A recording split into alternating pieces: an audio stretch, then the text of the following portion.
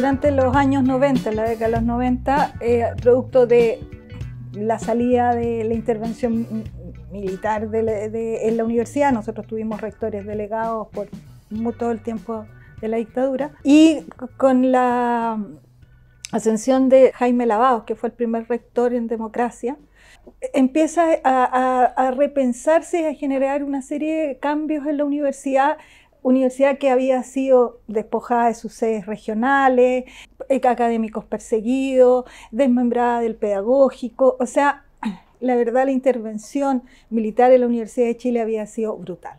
Y por lo tanto, empezaron una serie de cosas que había que recuperar porque con todo nosotros seguíamos siendo una universidad eh, que, que investigaba, también un sentimiento muy importante respecto de, tener que decir algo en los temas de educación.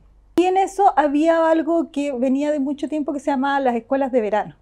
Y las escuelas de verano venían mucha gente y muchos profesores a, trabajar, a, tener cursos cortos de distinta naturaleza.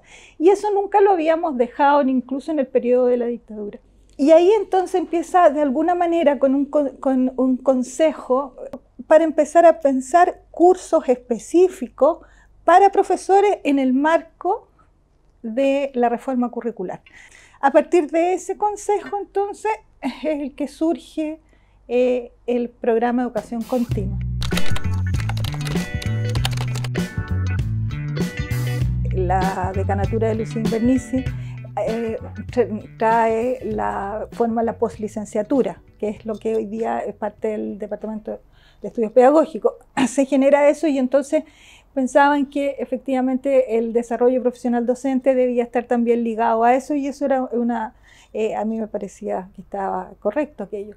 Y por lo tanto se viene el PEC para acá. Tenía que ver con actualizar eh, actualizar la, disciplinariamente al profesorado que estaba, el profesorado que estaba enfrentando nuevos desafíos a propósito de la reforma curricular. Te pongo el ejemplo de castellano a lenguaje y comunicación. Por ejemplo, los profesores, la mayoría de los profesores de servicio de esa época no, no les habían enseñado lingüística, les habían enseñado gramática. Y el componente muy importante del de, eh, programa era lingüística.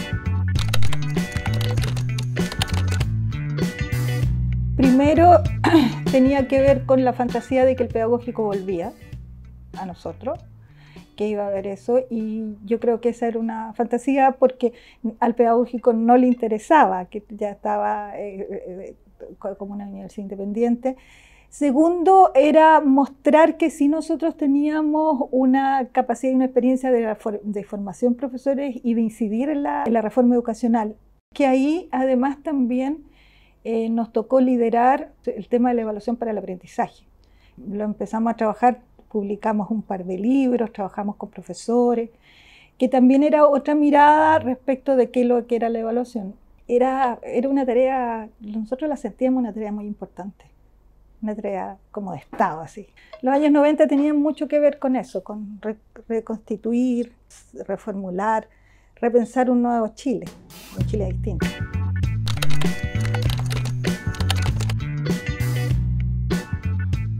Yo creo que la educación continua es una tradición que viene de, muy, muy larga data en, la historia del magisterio.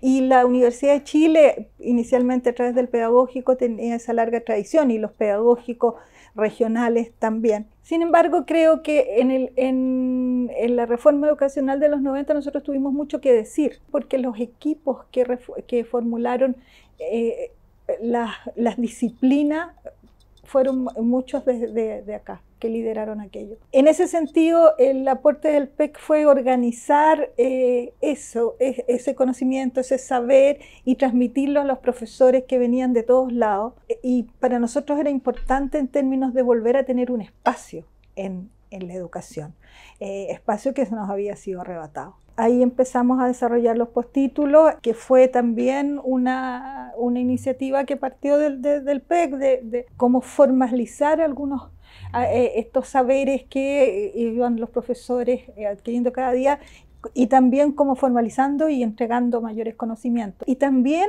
eh, con el tema de evaluación para, para el aprendizaje, eh, trabajamos muchos en comunas, en colegios, enseñando un poco a formular criterios de evaluación, que los profesores pensaran no en una nota, sino que en criterios de evaluación respecto de las habilidades y las, eh, que tenían que desarrollar en sus estudiantes.